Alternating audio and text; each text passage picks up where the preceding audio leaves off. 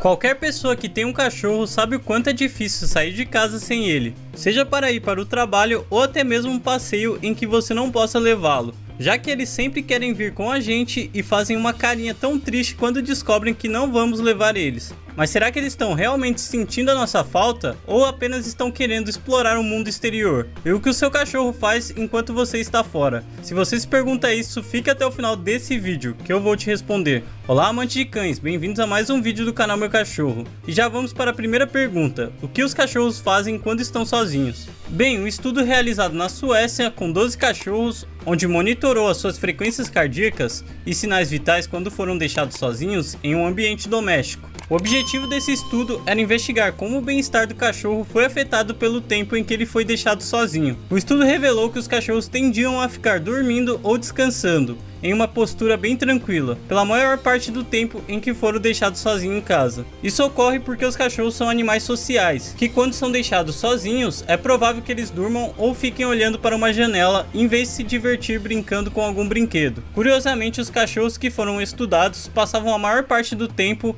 perto da porta de entrada, possivelmente esperando por seu próprio dono. O estudo também fez questão de examinar como os cachorros iriam reagir quando seus donos voltassem. Os pesquisadores observaram que a frequência cardíaca do cachorro aumenta cerca de 10% quando eles estão com seu dono. Os doguinhos também demonstraram mais tremores corporais no reencontro com seu dono, depois de muito tempo de separação. Os cachorros tremem para reorganizar o pelo depois de ficarem deitados por muito tempo, mas o tremor do corpo também foi sugerido como uma expressão de alívio após um evento estressante. Os cachorros realmente sentem nossa falta?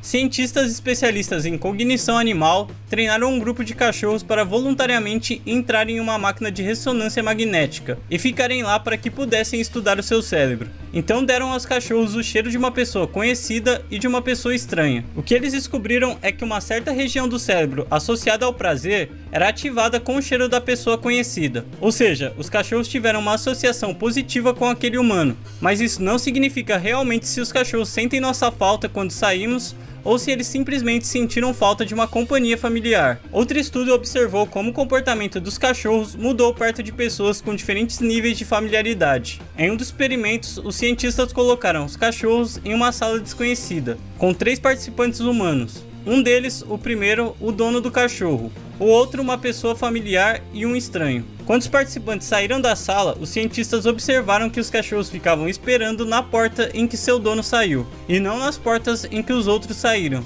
Mais estudos foram realizados para saber se os cachorros ficam com mais saudade caso o dono ficasse mais tempo afastado dele. O experimento que aconteceu em 2011 por um grupo de pesquisadores suecos colocaram câmeras para registrar como os cachorros reagiriam quando seu dono estivesse ausente por meia hora por 2 horas e por 4 horas. E esse experimento mostrou que os cachorros ficavam mais animados quando seu dono voltava depois de 2 horas, do que quando seu dono só saía por meia hora, o que sugere que de fato os cachorros sentem a diferença de tempo quando seus donos estão fora. Mas os cachorros não reagiam de forma diferente quando seus donos saíram por 4 horas, ou seja, eles reagiam da mesma forma que 2 horas. Então tudo que podemos dizer é que o cachorro consegue diferenciar entre o curto e o longo espaço de tempo longe do seu dono, já que ele reage diferente quando seu dono se foi por muito tempo em comparação ao período mais curto longe do seu dono. Mas lembre-se que a percepção de tempo de um cachorro é diferente da nossa percepção humana. O que nos leva para a segunda pergunta: os cachorros sabem as horas? Os cachorros não podem usar um relógio como nós humanos, isso é um fato,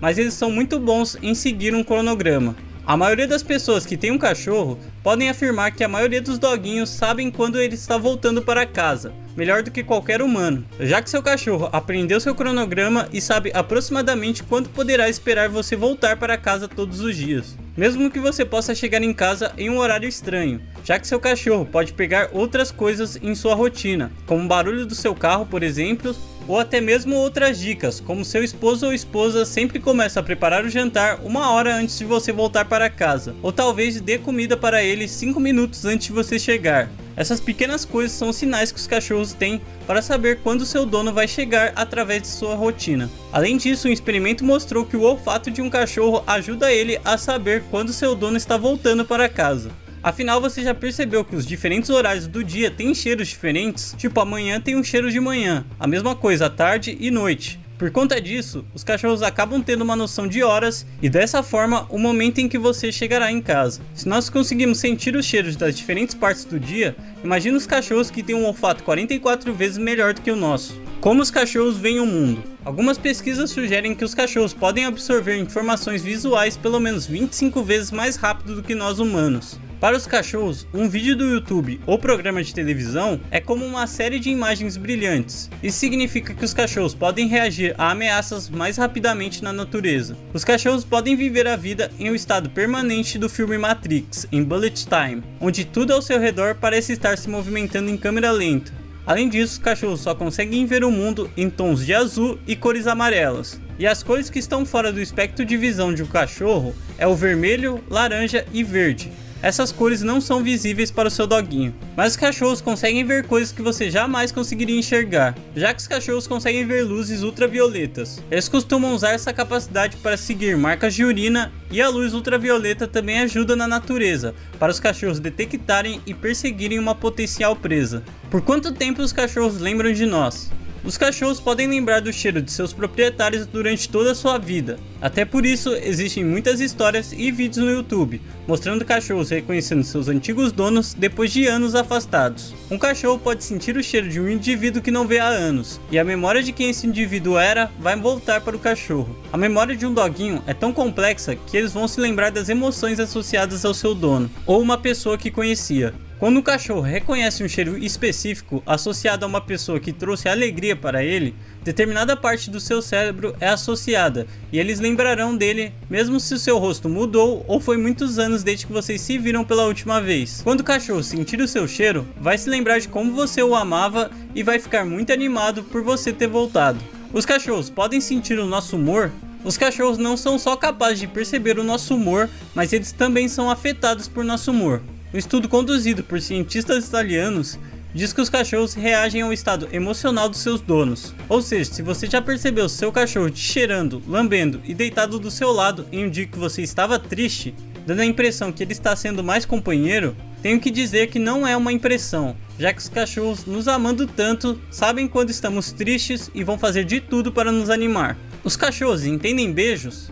Os cachorros não entendem os nossos beijos da mesma forma que os humanos, mas eles toleram isso por conta de toda a experiência que eles acabam tendo, já que durante os beijos eles recebem carinho e ouvem sua voz afetuosa falando coisas positivas. Então eles gostam de ser beijados por toda a experiência que tem com esse beijo. Mas cuidado se você for beijar um cachorro desconhecido, já que beijar significa chegar com seu rosto perto do dele, onde o cachorro vai chegar isso como sinal de ameaça. E se o cachorro ficar desconfortável com isso, pode atacar. Mas eu tenho uma pergunta para você: o quanto você ama cachorro? Se a resposta é muito, tem uma oportunidade incrível para você. Já pensou em trabalhar com o que você ama? Então é só clicar no primeiro comentário ou no primeiro link da descrição para fazer um curso de banho e tosa totalmente online onde com os conhecimentos desse curso você vai poder ganhar uma renda extra ou até mesmo se tornar um profissional do banho e tosa. Então se você sonha em trabalhar com cachorros todos os dias, é só clicar no primeiro comentário fixado ou no primeiro link da descrição. Só clicar lá para saber se é realmente o que você quer. Deixa o like aqui nesse vídeo, por favor, não sai desse vídeo sem deixar o seu like para esse vídeo chegar em mais pessoas. E se inscreve no canal, é de graça, só clicar no botão vermelho aí embaixo. Não vai demorar nem um segundo mas para o meu canal vai fazer toda a diferença a sua inscrição. E ative o sininho para se manter ligado em todos os vídeos novos que eu lançar aqui no canal.